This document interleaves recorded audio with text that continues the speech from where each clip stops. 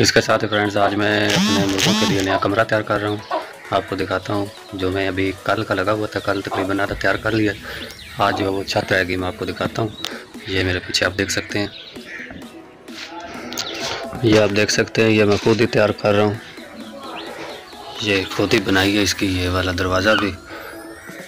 ये थोड़े से सुराख रखे, हवा के लिए। गर्मी है ना, मौसम चेंज हो गया। तो इस साइड से भी ये जाली लगाई है, दो। डबल जाली।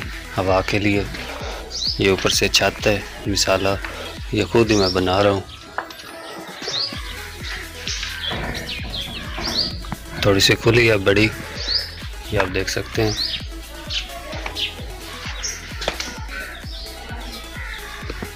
फ्रेंड्स, ये अब ऊपर खाने डाल दिए, आप देख सकते हैं।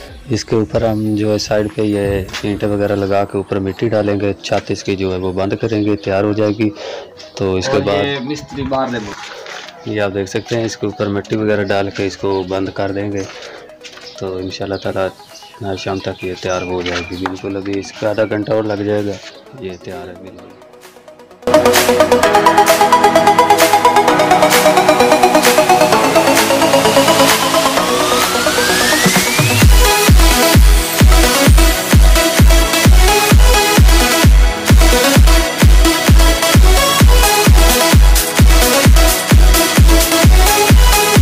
हमेशा की तरह आपसे एक ही रिक्वेस्ट है कि अगर आप चैनल पे नए हैं तो काइंडली चैनल को सब्सक्राइब लाजमी कर दें, ताकि ऐसी वीडियोस आप तक बर वक्त पहुँचती रहें। अपने शौक शिकार के लिहाज से मेरी वीडियोस अपलोड होती रहेंगी।